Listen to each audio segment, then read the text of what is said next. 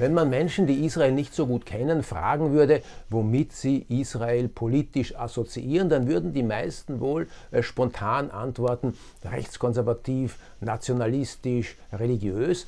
Aber Achtung, Israel ist kompliziert und widersprüchlich. Der jüdische Staat wurde doch eigentlich von den Arbeiterbewegungen in ihren verschiedenen Erscheinungsformen äh, erkämpft und aufgebaut. Und die waren natürlich sozialistisch, atheistisch, internationalistisch. Der 1. Mai ist ein Anlass und ein Mittel, um daran zu erinnern und um das ein wenig zu beleuchten. Heutzutage kann man den 1. Mai in Israel fast gar nicht mehr wahrnehmen und der 1. Mai war hier auch nie ein staatlicher Feiertag, aber früher war er das fast. Äh, die jüdischen Einwanderer zu Beginn des 20. Jahrhunderts kamen zum Großteil aus Osteuropa. Sie waren jung und sie brachten neben ihren zionistischen auch sozialistische Ideale mit.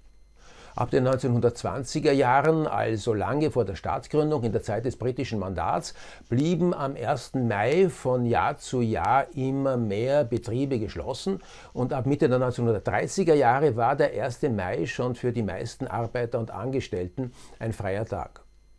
Sie konnten zu den Aufmärschen, Versammlungen und Festen gehen, die immer größere Dimensionen bekamen. Man war hier im Heiligen Land und im Orient, aber der 1. Mai wurde nach und nach zu einem der wichtigsten Feiertage im Land. Man sang die Internationale, es gab rote Flaggen und Bänder und Plakate mit sozialistischen Parolen und es gab sogar Bilder von Karl Marx. In den frühen 1940er Jahren waren bei der Mai-Parade in Tel Aviv 50.000 Menschen dabei und weitere Tausende marschierten in anderen Städten im Land und das zu einer Zeit, als hier nur rund 500.000 Juden lebten. Nach der Staatsgründung 1948 wurde die Tradition fortgesetzt. Der 1. Mai blieb für viele ein arbeitsfreier Tag, aber mit den Jahren gab es dann immer weniger Versammlungen mit immer weniger Teilnehmern. Nur in den 1980er Jahren gab es dann noch einmal ein Auflacker, nachdem zum ersten Mal die Rechte in Israel die Wahlen gewonnen hatte. Die Linke wollte ihre Stärke demonstrieren und sie konnte damals wieder einige hunderttausend Menschen für ihre Maifeiern mobilisieren.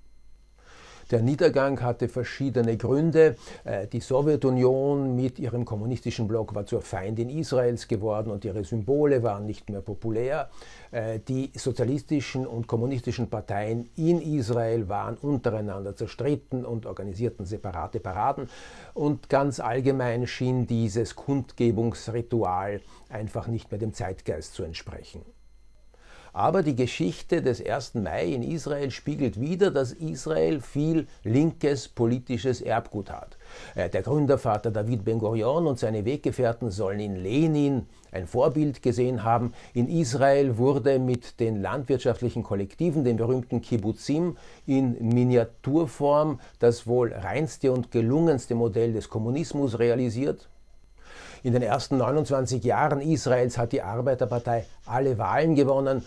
Der mächtige Gewerkschaftsbund Histadrut war über Jahrzehnte vor und nach der Staatsgründung der dominante Aufbau- und Wirtschaftsfaktor. Und Israel ist ein Sozialstaat mit Leistungen wie Mindesturlaub, Arbeitslosengeld, allgemeiner Krankenversicherung, Kindergeld, Mutterschutz und so weiter.